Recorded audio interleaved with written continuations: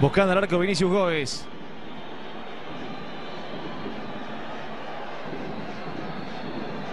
Churín. Marcaba Igor Ravelo. El topo Cáceres. Escobar.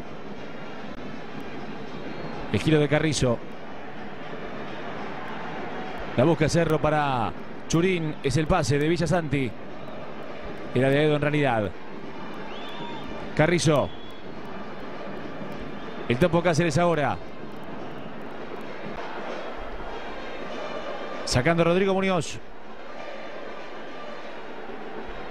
La baja Churín, offside de Churín y directo para Mineiro.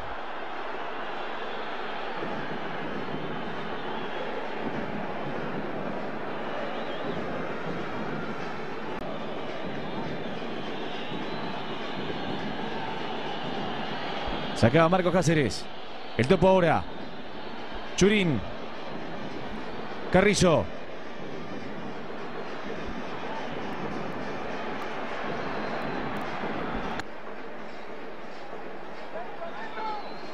Arriba el zurdo. La bajaba Churín. El cierre de Guga para el conjunto de Brasil. Cerro gana y se clasifica octavos de la Copa Comebol Libertadores. Leo Silva. Ahí está Igor Ravelo. Churín quería. Saque de banda para el conjunto de Minas Gerais.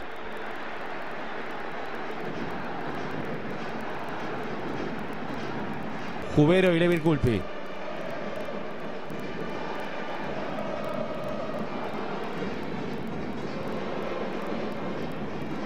Está por Cáceres. Igor Ravelo, Fabio Santos. Plazamiento pueden dejar alguna duda. Yo creo que Chará apenas sintió esa mano ahí y se tiró. Es cierto, pero al límite lo de Escobar. Al límite, totalmente. Esto suele ocurrir. Ahí ya depende de lo que interpreta el árbitro del contacto.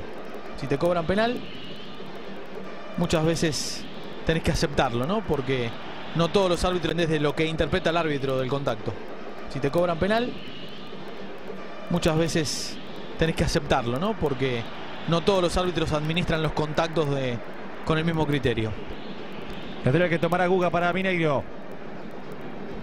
Otra vez Guga. Yo que se mete en octavos.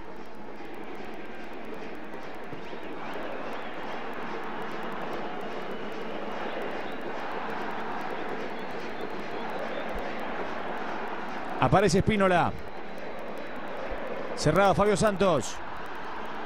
Libertad. Centro de Vinicius Góez.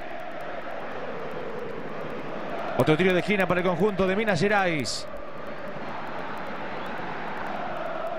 Ahí está el público de Cerro Porteño.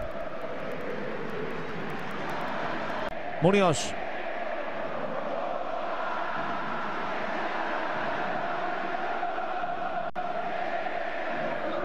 Cinco más. Víctor. La Copa Comebol Libertadores en fase de grupos. Centro de Fabio Santos. Quiere Ricardo Oliveira. Sigue Oliveira. Vuelve para después despejar. Churín. Fabio Santos sigue el lateral. Santos sigue el lateral.